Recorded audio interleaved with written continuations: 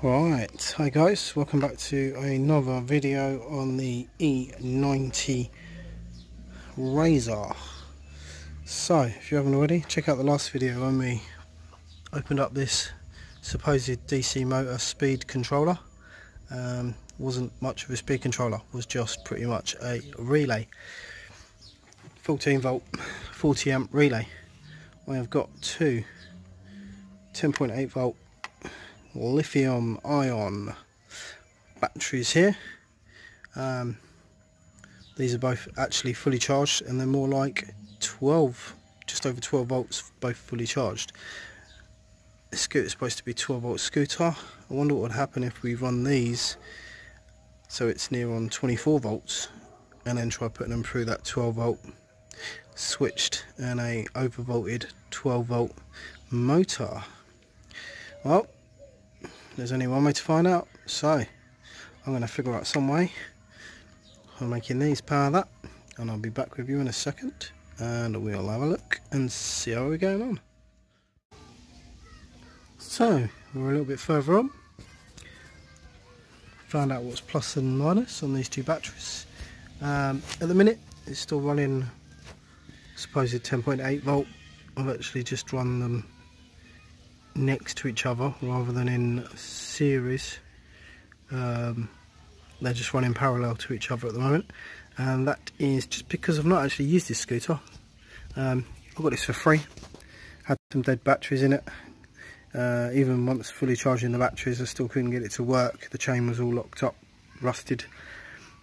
And I haven't actually played with it. Haven't even gone down the road on it. So I thought before I go and break it by trying to put too much power through it and it not working at all I'd actually just take it outside and have a quick go and see if it works. So we're going to grab this and go out the out the front because can't really use it on grass. So I'm going to go out the front and see how we get on.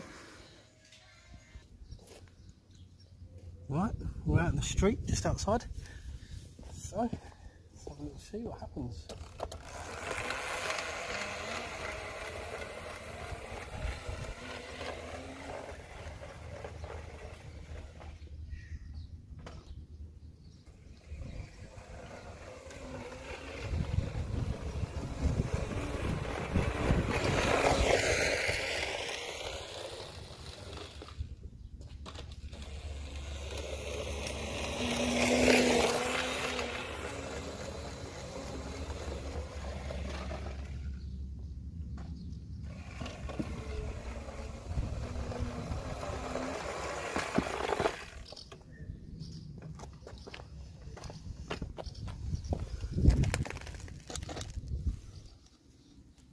it works.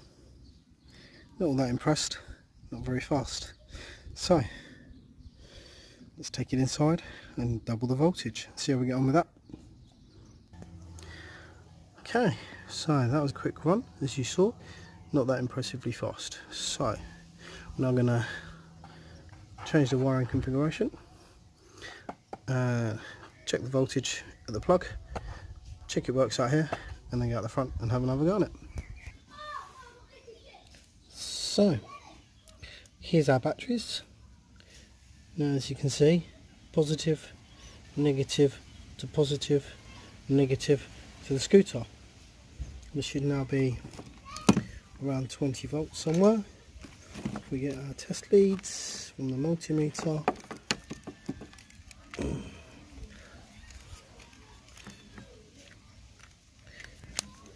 using a screwdriver because that doesn't fit in there. We got probe, it in this side, and our test meter. 24.1 volts. Lovely jubbly. So, let's bring that over to here. This is all a little bit just pushed in at the minute. But to be okay for a quick test one. If we plug this in, if it goes pop, it goes pop. If not, all good. It's plugged in. Let's lift the rear wheel up and we hit the throttle. Ooh. Well, already sounds better. Let's take it outside, see what it can do. Okay, so back outside. Running double voltage. see how we get on this time.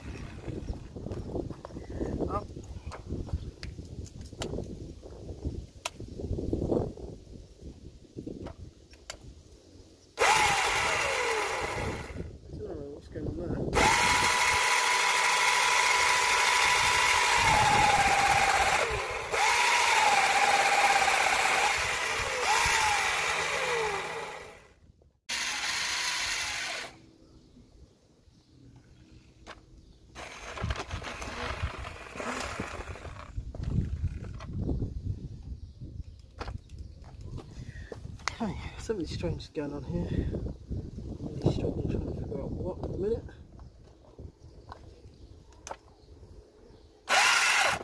Flip the switch that way. It goes. As you put load on it,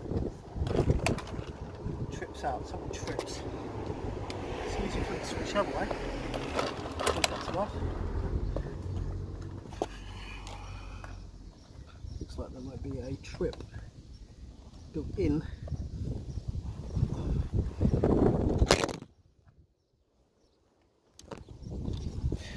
to the original power switch.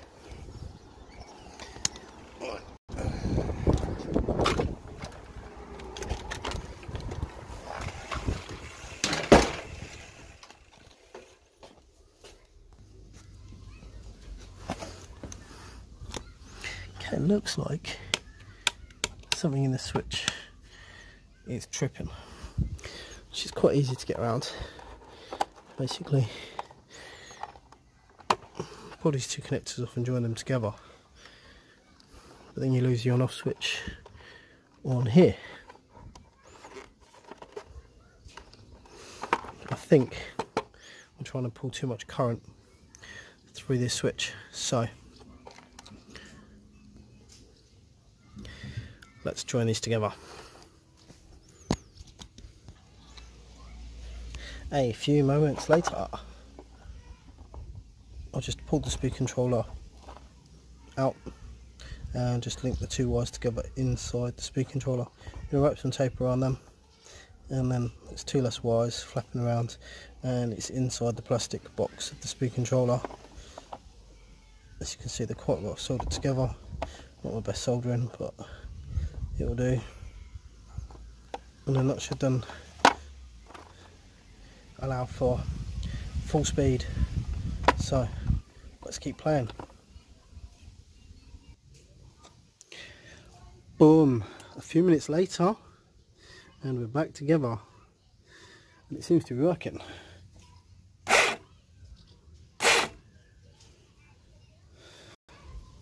So one more thing to do is take it outside and test it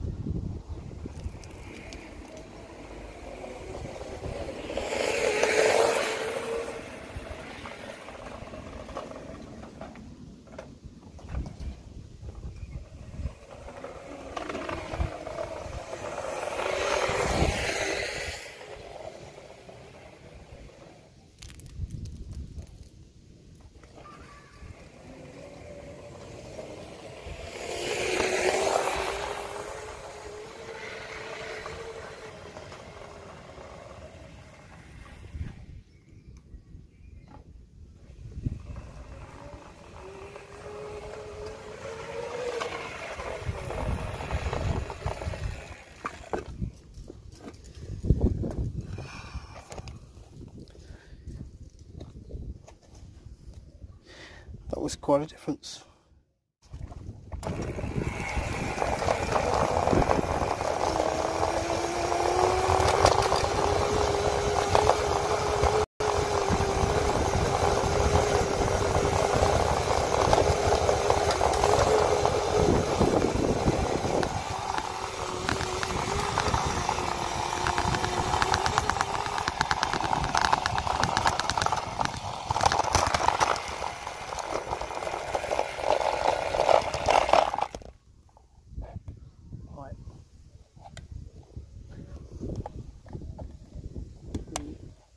Ready, set and go.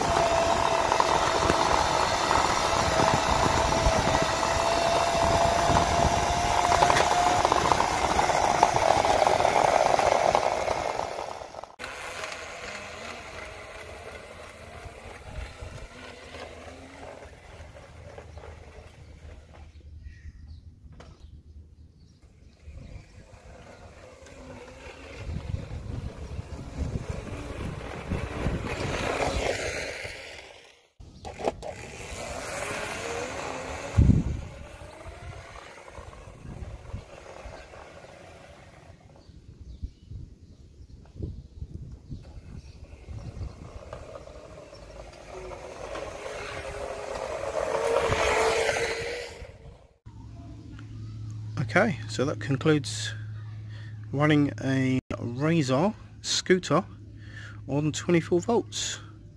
So we managed to get it running on the two 10.8 volt batteries which were producing 12 volts. We modified the speed controller. We ran it for a 12 volt motor and it ran very nicely. I'm not expecting a huge range out of these batteries, they're tiny, in fact I'm not even going to use these anymore um, I'm pretty sure that I've flattened them. Still got some life in it.